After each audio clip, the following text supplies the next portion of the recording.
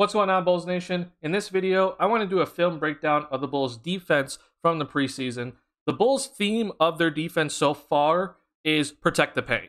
They're going to do anything possible to make sure that they do not give up easy layups, easy dunks, and they're trying to force teams to take as many perimeter shots as possible. So, and I'm just going to show you how much the Bulls are really trying to take away any paint opportunities from the opposing teams. But before we get into it all, make sure you hit that like button if you're new to the channel, hit that subscribe button.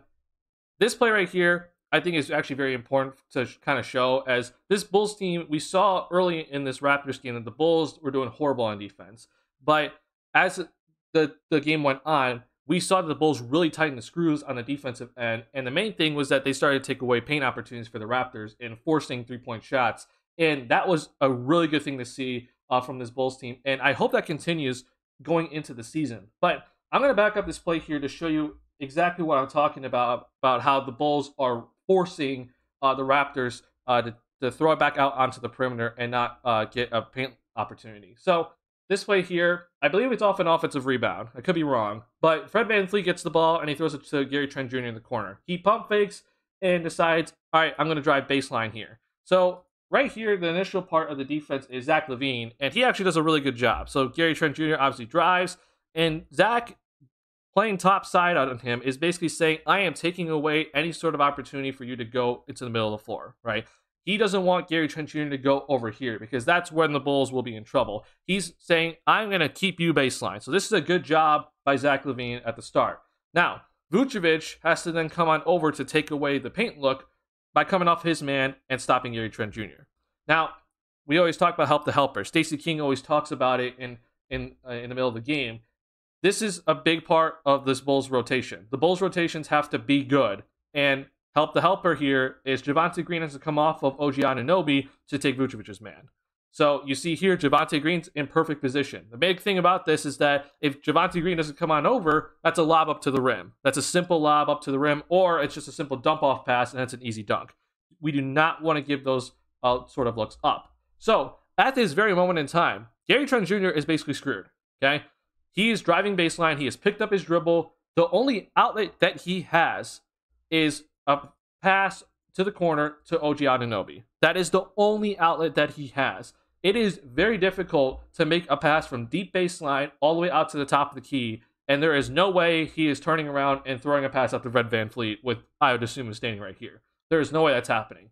So, if there is one little nitpick I have about this, even though it's a good defensive possession, if DeMar DeRozan just comes off of Pascal Siakam right when he sees Gary Trent Jr. pick up his dribble and takes OG Anunoby and takes that pass away, that's a turnover. That's 100% a turnover because Gary Trent Jr. wouldn't have the pass out to OG if he tries to throw it. DeMar's there. And if he hesitates, he steps out of bounds. So that is the only little nitpick I have on this play. But DeMar, unfortunately, is just a second late on this. I'm going to continue to play to show you. So Gary Trent Jr. is driving. He gets the pass out to OG Anunoby. Now DeMar recognizes it, so he he had he recognized it just in a nick of time to recover. So he has to run over to to take OG Anunoby and take away the three point shot. Now, because the Bulls are in full rotation, I would assume he then has to take uh, DeMar's man, which is Pascal Siakam. And to finish off this play, Zach LaVine, once the Suman runs, he has to run over and take Fred VanVleet. This is taking away all options from an easy drive for the Raptors or getting a wide open three point shot uh, for them, right? Off off the Gary Trent Jr. drive. Now, also, uh, ideally, you have Javonte Green come over and take Gary Trent Jr. Um, but I think he actually kind of gets a little confused on this play, but that's okay. It ended up working out. The big thing also about this play, which is I think crucial, is that look where Vucevic is right now. He didn't have to move out of the paint. We want to keep Vucevic as much in, in the paint as much as possible. That is a big thing for this Bulls defense moving forward is keep Vucevic in the paint. And the Bulls were able to do that, so I'm going to finish this playoff for you. Uh, ball is swung. I would assume it covers Pascal Siakam. Zach comes on over, covers Fred VanVleet. They force a three-point shot, and it's a miss.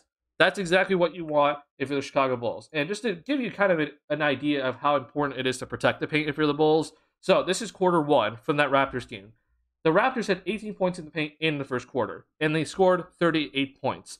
That is not good at all, right? If you're the Bulls, you do not want to give up 38 points in a quarter, and also don't want to give up 18 points in the paint. But as they tighten the screws on the defense, look what happened, right? 19 points in the second quarter, uh, yeah, and 23 points in the third quarter. But the Raptors, they only scored 28 points in the paint for the rest of the game. That's really good defense by the Chicago Bulls and good adjustments uh, by the coaching staff. So I am very, very happy about how the Bulls uh, adjusted in this game to make sure that they took away as many paint opportunities for the Raptors as possible. In this next play, I'm going to show you a pick and roll uh, for the Denver for the Denver Nuggets and how the Bulls guarded this pick and roll. And again, the theme is protect the paint. So the person that I want you to focus on in this play is Javonte Green. He is right here guarding Michael Porter Jr. And Michael Porter Jr. is a great three-point shooter. But in this play, you're going to see him come off of Michael Porter Jr., even though he's a great three-point shooter, to protect the paint. So it's I believe this is that's Zeke Nnaji getting the ball, and it's a pin down for Kentavious Caldwell Pope to do a pick and roll in the middle of the floor here. And there's the pick and roll. So first off, good job by Vucevic to be up here, right? You don't want Vucevic down here. That that that'd be a bad thing to do if you're if you're Vucevic. So he's up here at the free throw line. Zach right now has to recover. He needs to try to stay on KCP's uh, hip as much as possible to make sure that he can only go right uh, on this sort of possession. But again, big thing here is Javonte Green. He needs to then slide on over to take away Vucevic's man because Vucevic is coming over to help on the pick and roll. And if you take away Nnaji, that's taking away the layup or the roll man uh, or looks inside the paint. But it gives up this shot to Michael Porter Jr. But I'm going to show you why the Bulls do that. So here, again, Javonte Green moved on over to take away the, the, the roll man, and KCP throws it back out to Michael Porter Jr. But if you're the Bulls, you take this because you're not giving up a layup. And let's say Zeke Nnaji catches that ball. Javonte Green six four, So you want to make sure that the, the Nuggets don't throw that ball in inside at all. You want to take that away completely. And you are very willing to give up the three point shot. So ball's thrown out to the perimeter. Javonte Green then comes on over to contest it, and they force a miss. Again, Michael Porter Jr. is a great three point shooter, but you're willing to give up that perimeter shot for the Chicago Bulls. Protect the paint all, at all times. That's at least the theme uh, for right now, uh, especially in the preseason. So I'm going to show you another pick and roll play and show you how much, in this play, how much the weak side defense for the Chicago Bulls is coming over to protect the paint. So we got a 1 4 pick and roll at the top of the key here. So far through the preseason, it looks like the Bulls are willing to switch one through four. Obviously, if Vucevic is involved in the pick and roll, don't switch it. Um, but one through four looks like they're willing to switch. Now, Ayo kind of gets a little messed up here. I'm going to say this is on Patrick Williams, but I, I'm not 100% sure. But the Bulls do switch this pick and roll, okay? Now, you see here, uh, Jevon Carter uh, has to pick up his dribble. He gets uh, the ball back, and it's another pick and roll, okay? So, what I want you to watch here, as this pick and roll is about to develop, watch Ayo Dosunmu and watch Alex Caruso. These are the weak side defenders, right? Because strong side's where the ball is. This is the weak side of the floor.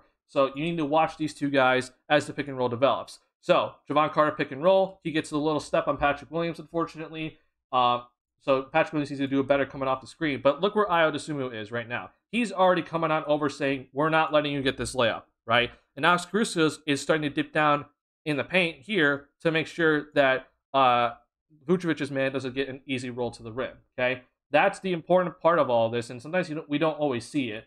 But this thing about Sumu takes away the layup for Jevon Carter. So as you see right here, Jevon Carter's screwed now. He's about to go out of bounds. He can't get the layup, right? This is a good job to take away the paint look by the Chicago Bulls. Now, because Ayo just came off of his man, which is this man here, to cover up uh, the paint look for Jevon Carter, the Bulls are now in rotation. So right now, Alex Caruso needs to come off of his man up here and run out to Ayo's man. Patrick Williams needs to needs who was guarding Jevon Carter. He needs to run out and cover up Alex Caruso's man. Ayo actually just needs to stay on on Jevon Carter. Uh, obviously, Dragic didn't move, but again, big thing. Vucevic is still in the paint. We want to keep this. Uh, uh, we want to keep this. Ha- keep let this keep happening.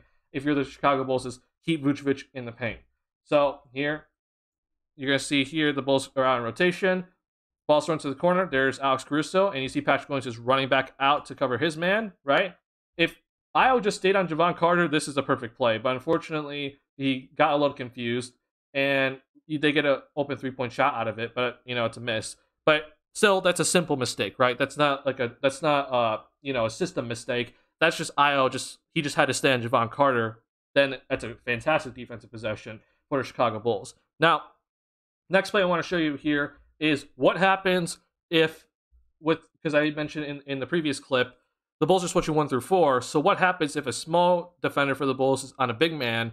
How did how do they defend that? And this is actually something that I think the Bulls started doing in the Milwaukee Bucks series. Um, and this is like specifically for when guarding Giannis. But you're gonna see here, uh, you're gonna see the switch happen here uh, on this possession, where you're gonna see Alex Caruso is gonna get stuck in a big man. Okay, so here's the switch one through four. Patrick Williams is taking Jevon Carter. Um, I don't know how to say this guy's last name. It's like Mamu something, right? So again, Alex Caruso is uh on is on a big man. Okay, this is a mismatch. So how do the Bulls uh how do the Bulls guard this? So big thing automatically I want to point out is that I would assume it is standing in the paint. This is Jordan Nwora. He's a good three point shooter, and he's all the way over here. But one thing to point out is to make the the corner to corner pass, this this sort of pass right here, it is very difficult to do that. So I would assume it's like, oh, you're standing in the corner. I'm going to load up the paint right now because you're not making that pass. But you're going to see here that actually Nwora is actually going to move up to, to the top of the break. And so then once Ayo sees that, he's like, okay, I got to guard you. I got to come up and guard you right here. Because making this pass is much easier. Okay. So that's that's good recognition by Ayo Dosunmu off ball. Now, again, mismatch. So what's going to happen here? The, so far from the Bulls, it looks like they're going to be helping from the top side. At for the most part. It, it seems to kind of vary. But the big thing is you're going to see Vucevic come on over here and just protect the paint. He's not going to come and double team. But instead, you're going to see Patrick Williams come on over and help Caruso.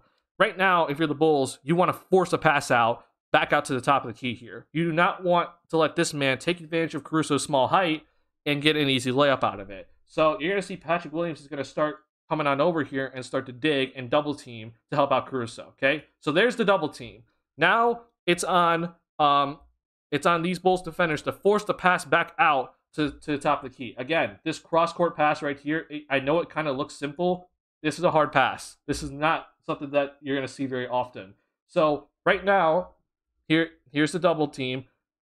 If you're going on Dragic, you're guarding Beauchamp, right? You need to come on over and guard, guard Jevon Carter. That was Patrick Williams' man, right? if you're Ayo Dosunmu, you just not you gotta come on over here because you're guarding Nwora. You need to come on over and guard Beauchamp. I believe that's how you say his name. To finish this playoff, Alex Caruso needs to run off of who he was guarding initially and take Jordan Nwora in the corner. Unfortunately, I also gets confused on this possession here, but again, he was in the right position. Um, so you see here, uh, let me run the play. Pass is thrown back out. There's Goran Dragic, right? That's step one. Ayo's already at step two here, and he doesn't even recognize it. But you see, Alex Caruso is already coming on over here to guard uh, Jordan Nwora, and the Bulls force yet another perimeter shot, and they get the, the rebound out of it. So again, that went from a post up mismatch to then forcing a three point shot on the other side of the floor contested, and the Bulls got the miss. That's exactly what they want.